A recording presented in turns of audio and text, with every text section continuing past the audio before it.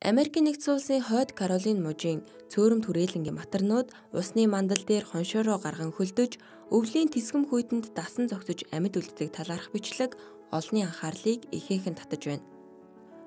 Хүйтэн цуст хевлэр явагч амьтад нь өөрсдийн биеийн дулааныг зохицуулах чадваргүй боловч хүрээлэн буй орчиндөө дасан зогсож хөдөлгөөнгүй хэвтэх замаар биеийн дулаанаа хадгалдаг байна. Энэ үед тэд биеийн дулаанаа болон бодисын солилцоогоо хамгийн доод түвшинд хүргэж тэсгэм хүйтэнд тисжүүлдэг аж.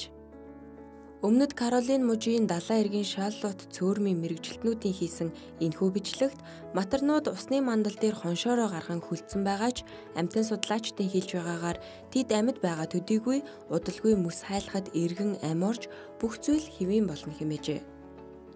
Матарнууд цөөрмөнд хүлдэх гэж байгааг бараг л байгалийн зүүн совингороо мэдэрдэг хэмээн судлаачид хэлж байна. Ийхүү цөөрм яг хүлдэх үед матарнууд хамраа дээш гарган хүлддэг ажээ.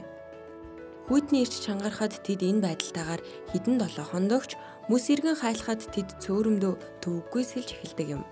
Ийхүү дулаархад матарнууд биеийн химээ тухайн температуртаа тохируулан өөрчилдөг байна.